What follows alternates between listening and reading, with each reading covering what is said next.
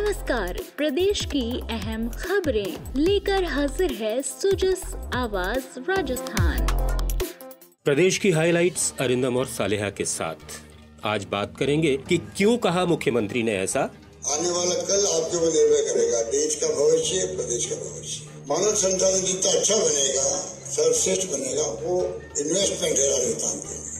राजस्थान दुग्ध उत्पादन में देश भर में पहले पायदान पर और ये भी कि सिविल सेवा में चयनित होने में भी राजस्थान के युवा सबसे आगे। नवाचारों से राजस्थान में शिक्षा का स्वरूप और परिदृश्य बदला है। युवाओं को उच्च शिक्षा के लिए अब बाहर जाने की ज़रूरत नहीं है। ये कहना है मुख्यमंत्री अशोक गहलोत का। वे आज बीकानेर के डूंगर कॉलेज में छात्र संघ कार्यालय के उद्घाटन अवसर पर बोल रहे थे। सरकार कोई कसर नहीं छोड़ रही बिल्कुल ठीक कहा गया। कि अगर स्वास्थ्य सेवाएँ और शिक्षा में अगर आप प्रायोरिटी देते हो सरकार की तरफ़ से, आने वाला कल आपके ऊपर निर्भर करेगा, देश का भविष्य, प्रदेश का भविष्य। ऑल इंडिया सर्विसेज़ के अंदर भी आई बन रहे ज़्यादा बच्चे ही जा पहले ऐसा नहीं था। ये जो बदलाव आ रहा है, उसका कारण भी है कि शिक्षा में हमने जोड़ दिया है। मुख्यमंत्री ने कहा कि शिक्षा सशक्त माध्यम है और इससे युवा भविष्य के लिए सही रास्ता चुन सकते हैं। मुख्यमंत्री ने कहा कि सरकार बेहतर शिक्षा के लिए हर संभव प्रयास कर रही है और युवाओं के लिए एक से बढ़कर एक स्कीम्स लेकर आई है। एक के बाद एक स्कीम लेकर आ रही है वो आपके ध्यान के अंदर है, हर तरीके से। आज हमने चार साल के अंदर तीन सौ तीन नए कॉलेज खोल दिए। उसमें एक सौ तीस कॉलेज गर्ल्स के खोल दिए। ये घोषणा कर रखी है, या पाँच सौ लड़कियाँ पढ़ेगी गाँव में या कस्बों में, कहीं पे भी वहाँ कॉलेज बना दिया जाएगा। छात्रवृत्ति की बात हो अनुपति योजना जो अफोर्ड नहीं कर सकते, उनको तीस हज़ार बच्चों को हम लोग पहले पंद्रह हज़ार थे, अब तीस हज़ार कर दिए। फ्री कोचिंग करवाने की बात है, जो बच्चे अफोर्ड नहीं कर सकते। हैं और प्रतिभाशाली है, उनको विदेश तक भेजने का हमने फैसला किया। पहले दो सौ बच्चे थे, संख्या बढ़ती गई। इनका पाँच सौ बच्चों को प्रति साल भेजने का फैसला किया है। आने जाने का खर्च अमेरिका जाए, इंग्लैंड जाए, कहीं जाए दुनिया के मुल्कों में। एडमिशन हो गया। खर्चा सरकार दे रही आने जाने का भी, वहाँ रहने का भी। वहाँ फ़ीस का भी। दो तीन स्लैब बनाते गए ये क्यों किया गया? यहाँ के बच्चे जो हैं आने वाले कल के भविष्य बने। मानव संसाधन के रूप में वो आगे आए और प्रदेश की भी देश की सेवा भी करें। इस मौके पर मुख्यमंत्री ने कॉलेज में 30 नए क्लासरूम्स के निर्माण की भी घोषणा की। तो ये 30 नए क्लासरूम बनाने की मैं घोषणा करता हूँ। शिक्षा मंत्री डॉक्टर बी डी कल्ला ने इस मौके पर 15 करोड़ की लागत से कॉलेज में ऑडिटोरियम बनाने का भी ऐलान किया। और अभी हाल ही में इस बजट में 15 करोड़ रुपए हमारे आग्रह पर यहाँ का ऑडिटोरियम, जब से ये कॉलेज बनी थी, तब से छात्र संघ के लोग मांग कर रहे थे 15 करोड़ रुपए ऑडिटोरियम के लिए दिए। इसके लिए भी मैं आपका आभार व्यक्त करता हूँ। यहाँ पर आज चार इंजीनियरिंग कॉलेज मेडिकल कॉलेज में सौ सीटें थी उसकी जगह ढाई सीटें, चार नेशनल लेवल के रिसर्च इंस्टीट्यूट ये सब आपकी देन है। और इस बजट में भी मेडिकल कॉलेज में ट्रॉमा सेंटर हमारे यहाँ आईसीयू एक्मो मशीन जो राजस्थान में कहीं नहीं है हमारे यहाँ पीबीएम हॉस्पिटल में आपने मंजूर की है। ऊर्जा मंत्री भंवर सिंह भाटी ने इस अवसर पर कहा कि प्रदेश में बालिका शिक्षा के क्षेत्र में तेज़ी से बदलाव हुआ है। बीकानेर की यदि हम बात करें बीकानेर में जो चार विश्वविद्यालय वर्तमान में चल रहे हैं महाराजा गंगा सिंह विश्वविद्यालय स्वामी केशवानंद कृषि विश्वविद्यालय और जो हमारा गुरु जम्बेश्वर भगवान के नाम से आपने पशुपालन विश्वविद्यालय का जो नाम अभी बजट में घोषणा की है, ये विश्वविद्यालय भी आपकी देन है और जो इंजीनियरिंग का यूनिवर्सिटी है, बीकानेर टेक्निकल यूनिवर्सिटी ये भी आपके कार्यकाल में 2013 में खोले गए। बीकानेर के डूंगर कॉलेज सहित दो कॉलेज होते थे बीकानेर में। आपने 18 गवर्नमेंट के कॉलेज पिछले चार सालों में बीकानेर ज़िले में खोले हैं। एक बड़ा इतिहास बनाया है।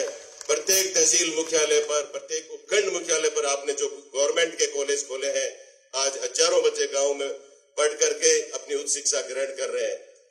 इसके बाद मुख्यमंत्री ने एक बैठक में हिस्सा लिया और फिर जोधपुर पहुँचे। मुख्यमंत्री ने कहा है कि राजस्थान में स्वास्थ्य का अधिकार अधिनियम आम लोगों के हित में है। उन्होंने चिकित्सा को मानव सेवा का सर्वोत्तम पेशा बताते हुए डॉक्टरों से कार्य बहिष्कार समाप्त कर जन सेवा की भावना से काम पर लौटने की अपील की है। एक तो ये डॉक्टरों की स्ट्राइक है ना फिर मैं अपील करना चाहूँगा कि सरकार पूरा सहयोग करना चाहती है। स्ट्राइक उनको खत्म करनी चाहिए क्योंकि पब्लिक को तकलीफ़ होती है। डॉक्टर को तो लोग ईश्वर मानते हैं। और ये एक्ट जो बना है, ये पब्लिक इंटरेस्ट में है। हम चाहते हैं कि राइट टू हेल्थ मतलब सबको हेल्थ का अधिकार मिल जाए हमेशा के लिए। इनका तो प्रोविज़न जो है, इनको गलत फहमी जो हुई थी, हमने दूर कर दी। डॉक्टर से बात करने के बाद में जो उन्होंने सुझाव दिए, वो तमाम सुझाव हमने इंक्लूड किए बिल के अंदर। उसके बाद में बिल पेश हुआ है। उसके बाद में पता नहीं क्या गलत फहमी हुई है। अनावश्यक गलत फहमी हो रही है। क्योंकि कोई ज़रूरत नहीं है। अभी सरकार के दरवाजे खुले हैं। कोई अगर वो गलत फहमी दूर कर देंगे हम लोग। हम चाहेंगे कि प्राइवेट सेक्टर पब्लिक सेक्टर सब मिलकर के सेवा करे राजस्थान वासियों और आज भी हम अपील करना चाहेंगे आप हम सब मिलकर ही तो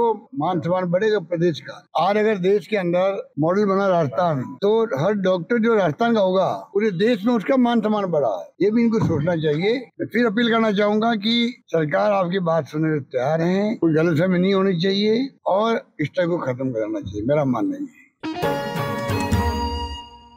स्वास्थ्य, सामाजिक न्याय और सुरक्षा तथा आवास श्रेणियों में राजस्थान देश में शिखर पर है। Skoch state of governance report के मुताबिक ये जानकारी सामने आई है। विभिन्न क्षेत्रों में राजस्थान ने शानदार प्रदर्शन करते हुए तीसरी रैंक हासिल की है। रिपोर्ट के अनुसार राज्य की अठहत्तर परियोजनाओं को स्कॉच ऑर्डर ऑफ़ मेरिट के लिए पात्र माना गया है।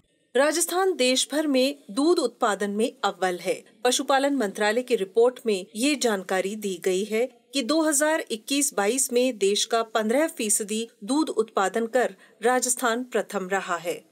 खनन माफियाओं पर नकेल कसने के लिए प्रदेश में कड़ी कार्रवाई की जा रही है। मुख्यमंत्री ने सोशल मीडिया पर भरतपुर पुलिस की खनन माफिया के खिलाफ की गई कार्रवाई की सराहना की है। हाल ही पुलिस ने 30 टीमें बनाकर कई स्थानों पर एक साथ छापेमारी की और चौरासी वाहन जब्त किए। अवैध खनन की चेकिंग के दौरान तीन लाख अट्ठाईस हज़ार ऐसी ज़्यादा का जुर्माना भी वसूला गया।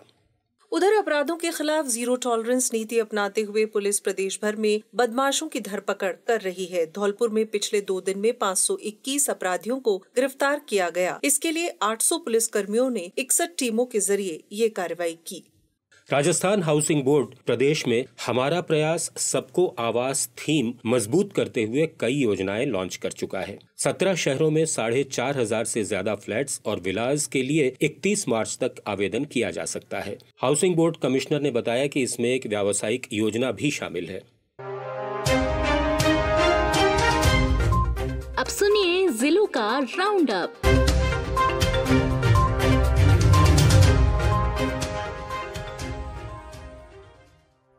चित्तौड़गढ़ में आज दुग्ध दिवस समारोह मनाया गया। प्रतापगढ़ दुग्ध उत्पादक सहकारी संघ के इस कार्यक्रम में सहकारिता मंत्री उदयलाल आंजना ने भी शिरकत की। उन्होंने कहा कि दूध उत्पादकों के सामूहिक प्रयास से इस क्षेत्र में क्रांति आई है। जहाँ पहले चित्तौड़गढ़ सरस डेयरी में नब्बे हज़ार लीटर दूध का उत्पादन होता था, वहाँ अब दो लाख दस हज़ार लीटर दूध डेयरी में आ रहा है। अब डेयरी में पाँच करोड़ रुपए की लागत से वेयर हाउस और पिचहत्तर करोड़ से पाउडर प्लांट भी लगाया जाएगा।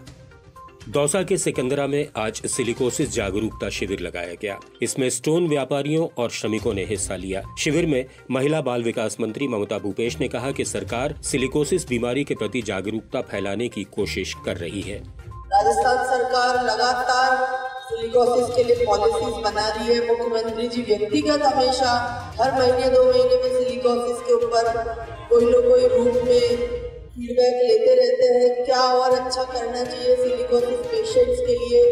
उनके बारे में चर्चा करते रहते हैं। मैं भी कलेक्टर साहब से लगातार बात के लिए कहती रहती हूँ कि आप लोग कैंप लगाइए आइडेंटिफाइड करिए, उनका इलाज प्रारंभ करिए। जयपुर में खाद्य पोषण, स्वच्छता, सुरक्षा और जेंडर पर कार्यशाला हुई। इंदिरा गांधी पंचायती राज संस्थान में कल इसकी शुरुआत हुई। इसमें शिशुओं के आदर्श पोषण के बारे में महिलाओं को बताया गया। प्रदेश में जल जीवन मिशन के तहत इस महीने लगातार रिकॉर्ड कनेक्शन जारी किए जा रहे हैं। अजमेर में अब बूस्टर लगाने वालों पर कड़ी कार्रवाई की जाएगी। इसके लिए जलदाय विभाग की टीमें शहर भर में निरीक्षण करेंगी। प्रदेश में निर्यात की संभावनाओं को बढ़ावा देने के लिए महत्वाकांक्षी मिशन चलाया जा रहा है। मिशन निर्यातक बनो। इसके तहत भीलवाड़ा में कल प्रशिक्षण शिविर लगाया जाएगा। इसमें उत्पादकों को नए बाज़ार तलाशने, पैकेजिंग और उत्पाद भेजने के तरीकों के बारे में भी बताया जाएगा।